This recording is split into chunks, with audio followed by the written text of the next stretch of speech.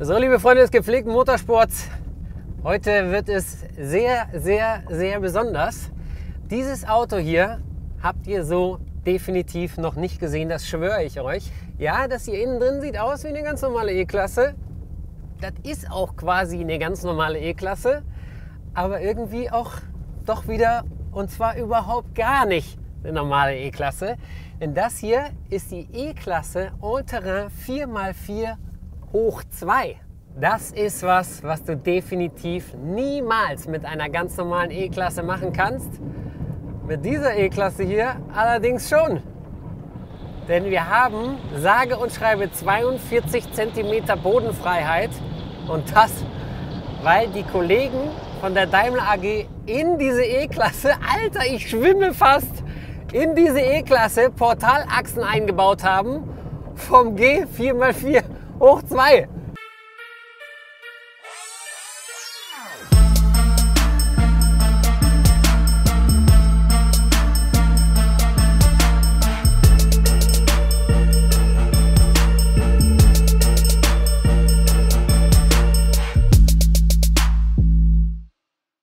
Dieser 4x4 zum Quadrat ist natürlich ein absolutes Einzelstück. Es ist ein Prototyp, aber es gibt einen im Daimler-Konzern, der gesagt hat, das will ich bauen. Das mache ich jetzt einfach und ich probiere das jetzt einfach mal aus. Und diesen bekloppten Typen, im positiven bekloppten Hirni, den gucken wir uns jetzt mal an. Jürgen Eberle, dein Auftritt. So Jürgen, dann komm mal ran und erklär mir mal bitte, wie du auf diese Idee gekommen bist. Servus. Hi. Ja, wir haben einfach mal uns inspirieren lassen, was so beim, beim Daimler geht, was es für Autos gibt. Es gibt den G 4x4 Quadrat Ja. und da haben wir ein bisschen abgeguckt. Wie das Auto da steht, vollkommen von einem anderen Stern. Mischung aus G- und E-Klasse. Wie viel breiter ist der? Also wir haben an jeder Seite 10 cm Kotflügel noch dran gebaut. Sprich, wir sind bei 2,10 Meter. Breiter als die Außenspiegel auf jeden Fall. Da muss Ja. man in der Baustelle schon ein bisschen Muss man ein aufpassen. bisschen ne? gucken. Ja. Und Genau. wie viel höher ist er geworden? 42 cm sind wir, die Serie hat so 160 mm. Das ist die Bodenfreiheit, 42 Was wir- Zentimeter. Genau. Wir haben 20 cm höher gelegt, so kann Okay, man sagen. jetzt habe ich natürlich eine Frage. Jetzt sind wir in so einem Offroad-Gelände. Ne? Glaubst du, Jürgen, dass ich den heute noch kaputt kriege? Ich glaube nicht, für das Gelände hier. Wollen wir das es reichen. ausprobieren? Lass uns fahren. Okay. Also du hast gesagt, ich kriege ihn nicht kaputt, ja? Nee, das sollte hier ganz gut gehen. Darf ich das ESP auch ausmachen? Ja, das kannst du einfach mal spielen. Ich darf spielen, ja? Ja. Du weißt, was passiert, wenn ich anfange zu spielen, ne? Ich schreie dann. Du schreist dann, okay. Aber er geht gut vorwärts. Was hat der für einen Motor drin? 400er hast du gesagt. drin 400er, eigentlich ein Serienmotor. Ein Serienmotor mit 333 PS, V6 Biturbo. Genau. Und ich finde, der schiebt gut an. In die Richtung. Über grob die Richtung, sagt So. der Jürgen. Kann ich da ruhig durchfahren? Runter. Noch langsam runter. Setzen wir nicht auf, oder? Ich glaube nicht. Wir haben hier bodenfrei. Ja, aber der Böschungswinkel. Vorne hin. Ich hätte jetzt gedacht, hinten setzt der Stoßfänger auf, aber da ist gar nichts, was aufsetzt.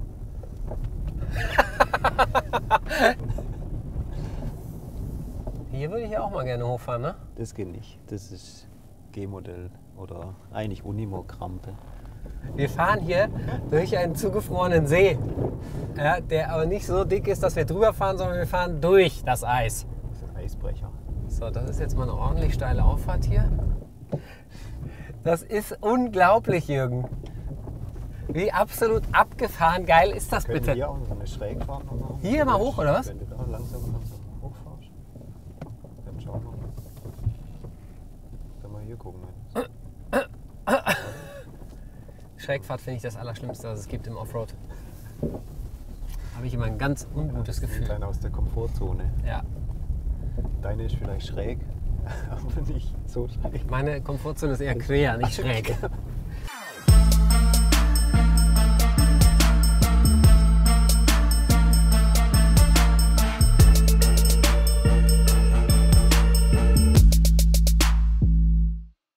Wie kommt es dazu, dass dein Chef das erlaubt hat? Normalerweise hast du doch da gerade ein anderes Auto entwickelt. Ne? Und dann ist dir das in den Kopf geschossen. Dann bist du mit irgendeiner Skizze zu deinem Chef gelaufen und hast gesagt, guck mal, da hätte ich Bock drauf. Oder wie war das? Gut, ich bin ja ein, CAD-Entwickler. Sprich, meine Skizze ist dann wirklich ein, eine CAD-Konstruktion. Ja, ich habe okay. einfach Teile aus dem großen Regal, den wir haben, quasi einfach an unser Auto rangeschoben und geguckt, wie könnten das da wirken. Dann haben am Ende Kotflügel gefehlt. Dann habe ich halt Kotflügel konstruiert und dann gab es ein Bild. Das war dann deine Skizze. Damit bin ich zum Chef gegangen und habe gesagt, ja, Was hat der Chef gesagt? Was hat der Chef als erstes gesagt? geil. Ernsthaft? Das war das Einzige? Geil. Und dann hat er gesagt, ja okay, du darfst ein bisschen, mach mal. Oder wie? Dann haben wir halt geguckt, ja, was, was steckt da dahinter, was kann man machen. Und dann haben wir halt mit einem kleinen Budget mal losgelegt. Und dann habt ihr einfach entwickelt, geguckt, kann ich denn an die moderne Achse von einer E-Klasse auch sagen wir, Komponenten anbauen, die man sonst halt von der Starrachse kennt. Jetzt so G-Modell eben. Ja und hat das dann einfach gepasst oder wie? Das hat am Anfang natürlich gar nicht gepasst. Aber ich bin dann einfach mal im Konzern hausieren gegangen und habe mir aus jeder Fraktion immer jemanden gesucht, der mir da unterstützen kann. Da können wir hochfahren. Das probieren wir einfach. Ja gut, ich meine für ein G ist das ja kein Problem, aber für eine E-Klasse? Probieren wir es einfach. Ja, was Das ist, wenn wir hängen bleiben? Wir können auch noch hochfahren nachher. Müssen wir ja, hochfahren? Wir haben ja die Luft. Ich glaube nicht.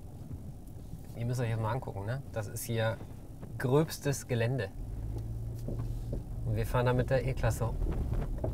Schnell langsam, langsam, langsam. Wühlt sich da lang. Schuld. Und das ist Und da tatsächlich einfach von, vom, vom Antrieb her ist das quasi ein G4x4. Also vom Antrieb, sprich Motor, Getriebe, ist es eigentlich das, Eine was E-Klasse. eine E-Klasse Allrad hat. Aber vom Allradantrieb Das her ist es ein kombinieren G4x4. Das kombinieren wir dann mit einem, mit einem Portalgetriebe, das dann im Rad quasi nochmal untersetzt. Portalachse hast du gesagt. Genau. Was genau ist eine Portalachse? Also letztlich sprechen wir über ein Portalgetriebe. Das ist quasi so eine Getriebeeinheit im Rad drin, das dann so diese Antriebswellenlage nochmal untersetzt, auf die, wo es dann rausgeht ins Rad. Und diese Höhendifferenz, das ist im Prinzip der Zugewinn. Okay, also das ist normalerweise meine Achse. Genau. Da kommt die Antriebswelle raus und da montiere ich mein Rad. genau. So, Jetzt nehme ich dein Rad Ja. aus Setz es so viel tiefer. weiter runter und dann ist hier eine neue Welle. Dann brauche ich noch ein kleines Zahnrädchen dazwischen okay. und das ist dann meine Höhendifferenz. Also hier sind Zahnräder, die verbinden die Antriebswelle genau. mit dem Rad, was aber eigentlich da unten mit dem neuen sitzt. Rad, genau. Und dadurch dann habe hab ich hier ganz viel Bodenfreiheit. gewonnen. Wo können wir uns diese Portalachse mal angucken? Ich will da mal drunter gucken. Wir können uns einfach irgendwo einen Hügel suchen. Fahren wir da hoch? Mittig hoch. So, oder was? Und dann irgendwann arbeitet Triebstrang sich da hoch. Ich glaube, wir sind oben. Ja, sind wir. So, Jürgen, Portalachse in Action. Zeig mir, wie das funktioniert. Also, wir haben es uns schon erklärt, aber jetzt wollen wir es sehen. Genau. Ähm, wir haben ja praktisch die, die Antriebswelle hier oben, die im Prinzip weiter oben ist wie die Radmitte. Genau, da, wo sie normalerweise auch Die rauskommt. Radmitte wäre jetzt ungefähr auf der Höhe. Und im Prinzip äh, haben wir dann hier noch ein Zwischengetriebe, das dann einen Höhenausgleich bildet. Und so kommen wir weiter runter. Haben wir einmal da gewonnen an Höhe und wir können auch ein größeres Rad noch aufbauen. Wir müssen jetzt mal ganz kurz einen Schritt zurücktreten, Jürgen, und uns das Ganze noch mal Wirken. von außen angucken. Und du lachst selber, ne? Ja. So habt ihr eine E-Klasse noch nie gesehen, Leute. Komm, wir fahren weiter. Es ist jedes Mal wirklich unglaublich. Du fährst wieder irgendwo hin, denkst du, so geht das?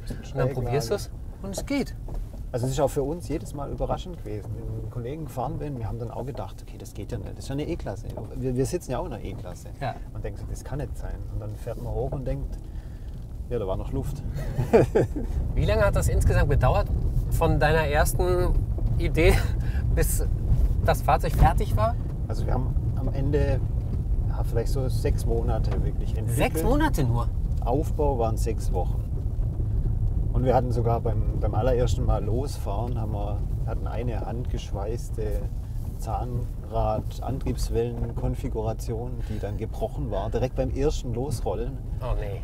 Und dann haben wir aber innerhalb von einer Woche uns neue Zahnräder machen lassen und so was ja alles, auch, das geht ja gar nicht. So, wenn man jetzt bei einem Zahnradlieferant anfragt, dann brauchst du in einer Woche neue Teile, die kriegst du ja noch an.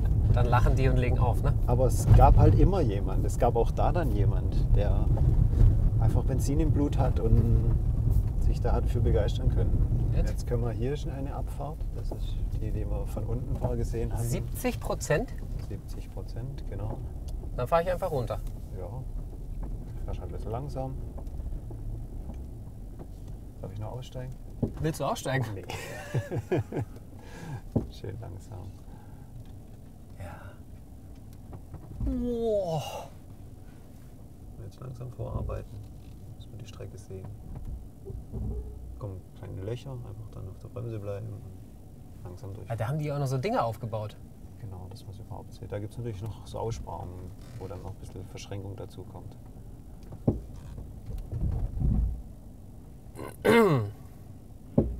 Also das, Das ist so eine neue Perspektive für so eine E-Klasse. das, also woher kommt deine Passion für ja, tatsächlich ein Offroad-Fahrzeug zu machen? Also ich kann es gar nicht ein, äh, wirklich sagen, ich bin so ein bisschen dran reingewachsen. Irgendwann hat es dann angefangen mit, mit Geländewagen, der GLC finde ich total toll, dann jetzt ein G-Modell und so bin ich da, habe ich es irgendwie verschmeckt. Und was treibt dich da an? Ist das die- technische Machbarkeit einfach? Ja, eigentlich ist es Tüfteln. Das Tüfteln. Dieses, dass es am Anfang gar nicht ging, das ist ja genau der richtige Antrieb. Ja. Deshalb ist das spannend. Wenn das da einfach gegangen wäre, wäre es ja langweilig. Dann könnte das ja jeder machen. Also Jürgen, großes Kompliment. Ich finde das grandios, dass sowas geht, dass ihr sowas dann auch macht. Finde Äh. ich einfach absolut perfekt. Es ist toll, was sich so ein Team dann zusammenfindet. Ja.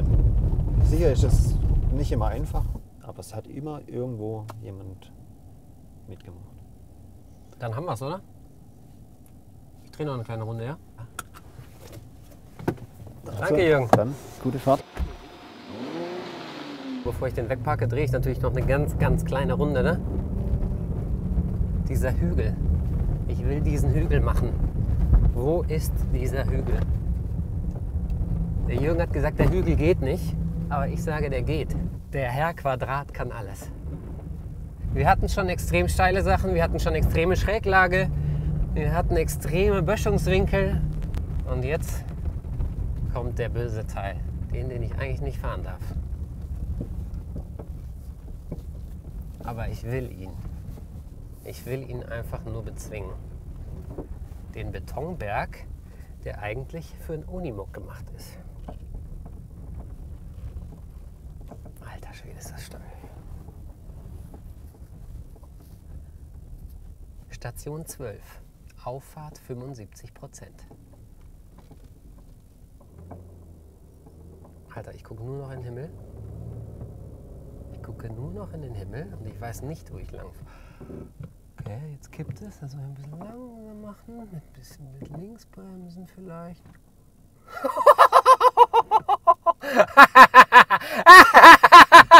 Alter! Okay, das ist jetzt das steilste Stück und ich gucke komplett ins Wasser.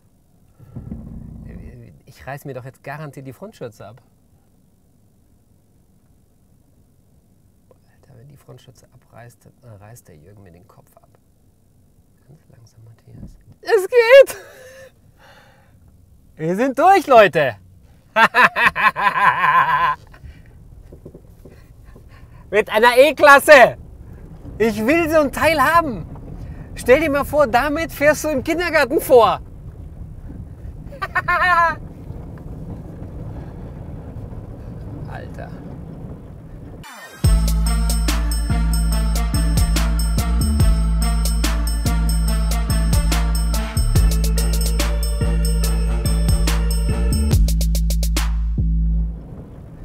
Ihr beim Daimler, ihr seid doch nicht mehr normal. Das war heute der Fazit. O-Ton. Tschüss, Leute. Es geht, Jürgen. Ich hab's dir gesagt, er geht. Wollen wir gleich nochmal?